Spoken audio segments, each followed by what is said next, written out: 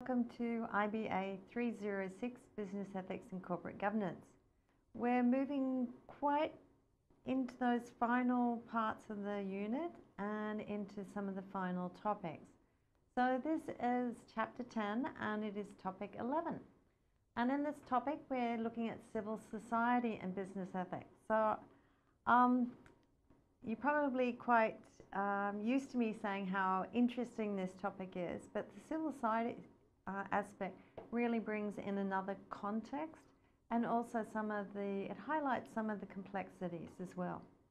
So let's start having a look at this and how civil society and business ethics plays into um, this topic and business. To do this, we're going to be covering how civil society organisations, CSOs, and sometimes they're called um, civil society organisations, and it depends on the different governments. But you also have NGOs and social enterprises that come into this category as well. So how they, they, get, they are actually key stakeholders. Um, they, if we go back to um, Mitchell, Agle and Wood's issue of stakeholders in terms of power, legitimacy and urgency, um, CSOs can quite often come into play in all three of those categories. So they are key stakeholders. So we're going to examine some of the tactics these groups might use um, and you can hopefully all stimulate some really interesting thoughts. And we'll discuss the impacts of globalization in terms of civil society organizations and how that impacts on organizations. We'll also look at the relationships between business and civil society organizations. And we'll be then finalising with assessing some of civil society in terms of corporate sustainability. So let's get started.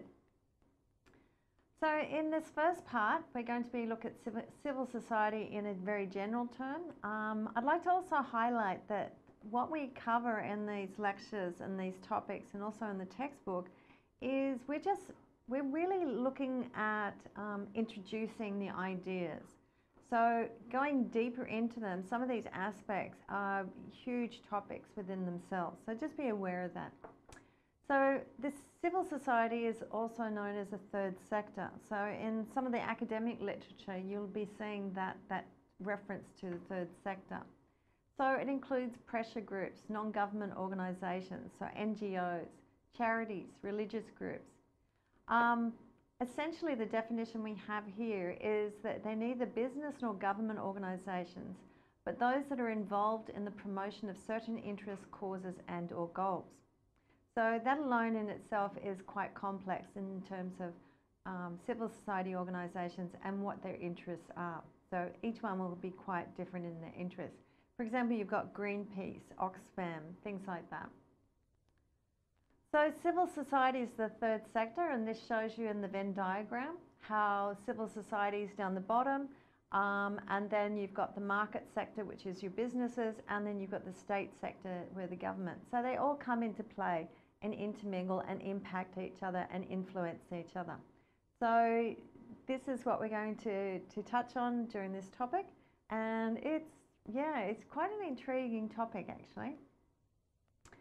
So when we start to look at civil society organisations, we there, there's different um, scopes in terms of how these um, characteristics of civil society organisations look. Uh, no, no one size fits all. Um, some of the categories that this literature goes into is looking at the scope of that civil society organisation, so what they actually cover, the activities, you know, what do they actually do, and their focus. So sometimes it might be environmental, it might be social, and it might even be into um, a more specific thing. Uh, in terms of your case analysis, when you're looking at Outland Denim, um, they started out as a social enterprise, which is also comes into the category of civil society organisations. So their focus was actually on human trafficking the structure of that organisation, and sometimes those structures change as well, but how they're actually structured. Do they go across borders? Are they global? Are they national? Are they local? Things like that. And also the types of organisations. So it could be a community group, um, you know, like Landcare. They could actually be almost considered a civil society organisation. Um, and Landcare is more a, a community group Um, maybe even Neighbourhood Watch would come into something like this. So it's some of these civil society organisations. They're very nebulous in what they look like.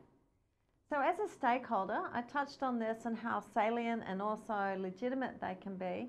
Um, and again, that's on a continuum. But there's a very significant growth in the number, the power, and the influence of these civil society organisations. And as time goes by, they're actually becoming more and more important in social development and how we actually approach and some of the pressure on business and governments. Um, if you think about some of the issues that are happening today, um, we've just ex been experiencing some of the um, school children, okay, where they've actually been walking out of school to um, voice their concerns over climate. So that can actually be some of that, that growth in that, that social action of communities coming together. So civil, civil society. So the stakes that are held by civil society organisations is largely one of firstly representing the interests of individual stakeholders, like I just mentioned with individual school children, and that's just an example of how that could actually escalate into being a civil society organisation. Um, potentially some of those kids would be you know, candidates for running a civil society organisation or being part of one because they've got that, that spirit in them that they they have to they want to contribute to society and they need to actually voice their concerns and do something about it. So they also represent the interests of non-human stakeholders, which we're going to be going into particularly in our discussion point today. So the social license to operate. So it's the, the approval and acceptance of a company's activities by society, especially among local communities and civil society. Now, all along, it's, this, is, this is this balance of business and society and how much influence business has on society, society on business. So it's quite an interesting how that balance um, plays out and also how it changes all the time. You know, it, particularly depending on the politics that is happening, that balance of, of how they interact and who's more influential or is perceived to be more influential than the other. So these organisations, the civil society organisations, they shape the extent to which a firm is to seen as having the ongoing approval and broad acceptance of society to conduct its activities. Now, when you think about some of the large organisations and some of the, the civil society um, um, developments, um, I'm thinking of McDonald's, for example. Now it's not national civil society, but you ended up we ended up with this whole movement going against the, the poor nutrition of McDonald's. And that was be, that created a huge groundswell and it actually impacted the business where they started to look at having more nutritional value and healthier choices.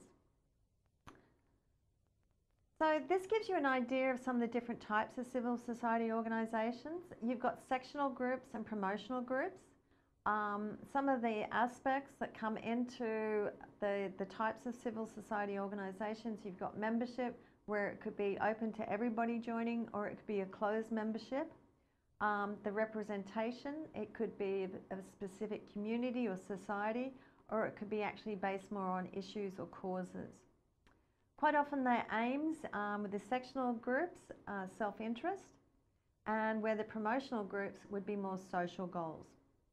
And then traditional, um, you've got more an insider group and you might be thinking, I mean, I'm thinking of sort of maybe more sectional um, where you actually have uh, groups coming together with a cause or sometimes based on a, a fundamental belief.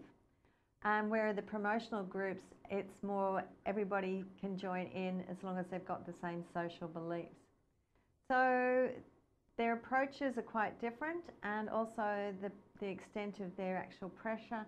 Um, you know, sometimes with the sectional groups, we're saying that they actually threat their with, withdrawal of their support.